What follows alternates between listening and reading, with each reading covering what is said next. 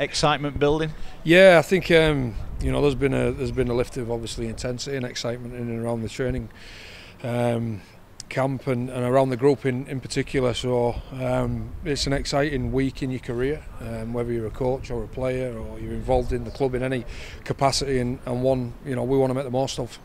We spoke after the game with the Dragons, and you said you've got some bad news to deliver to some guys. Is that been done yet, or when will that be done? Yeah, no, it's uh, you know that was done today, and you know, difficult, difficult. Um, you know, I didn't think it'd be as difficult um, as it was receiving the news as giving it, but it, you know, it's pushed it really close. Um, because I'm told, you know, some of my friends that they're not going to be involved in obviously one of the biggest game in, in the club's history in a long time. So, um, you know, not something you know I want to do again and, and I hope I really do hope and I said this to them all that we've got an opportunity to play in another final and um, you know I can select them in the 17 because the seasons they've had and the, and the form that they've shown they probably warrant um, some success this year. But that's probably been part of your success, the fact that your squad has competed and done so well, all of them really. Yeah, for sure, and um, I think that that just shows the strength of the squad as well, and, and the strength of the squad that's needed, obviously, you know, to achieve. Um,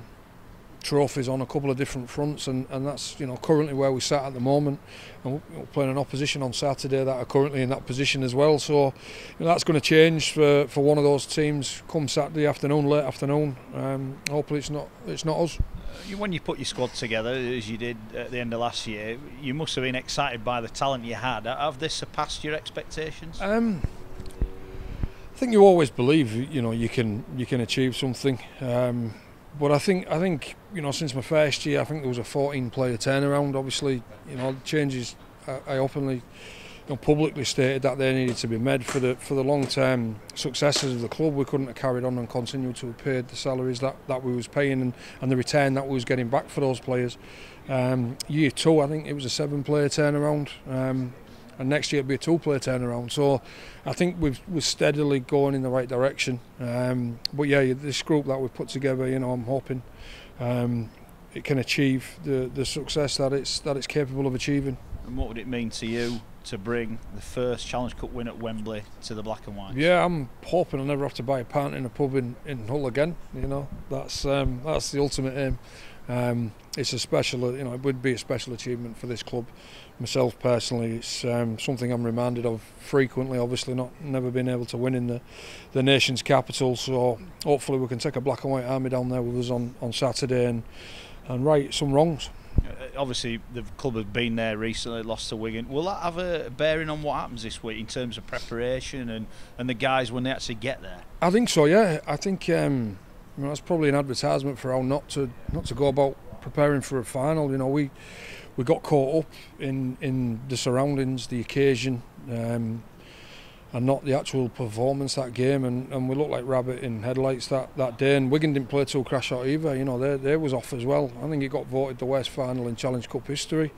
Um, so we definitely don't want to be involved in another performance like that, and I'm I'm confident we're not going to be. We're all expecting a crack of the best two teams in terms of points on the table in the competition. What type of game are you expecting? I said that last time we, we played them. It was the most errors we've made all season. Um, so if Warrington want to continue to make those errors this time round, I'll be I'll be super pleased. Um, but it's a big field, two very athletic teams, um, unbelievable surroundings. You know, eighty thousand going to be there.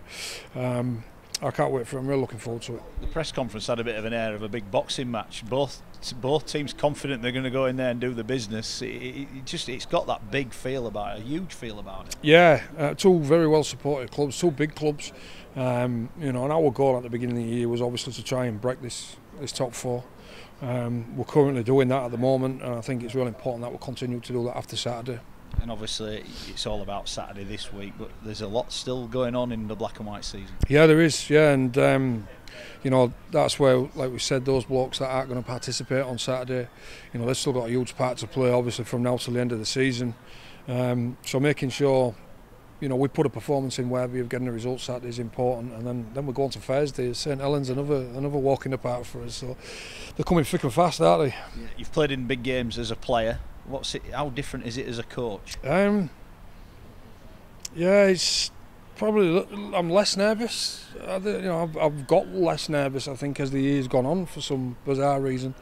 Um, Is that down to the trust you've got in your players? Possibly, I hope so. Yeah. Um, you know, whether it's confidence, I don't. You know, it could be could be that as well. Um, but yeah, it's it's a game. I, you know, I'm I'm I'm looking forward to to experiencing it.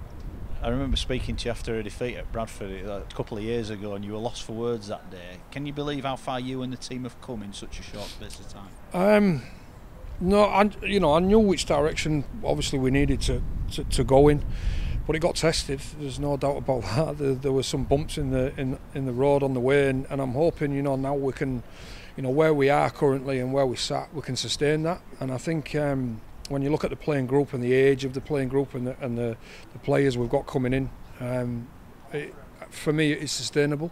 And uh, and that's you know key key for trying to what key in trying to trying to achieve what we're trying to build. Last one. Can you enjoy it?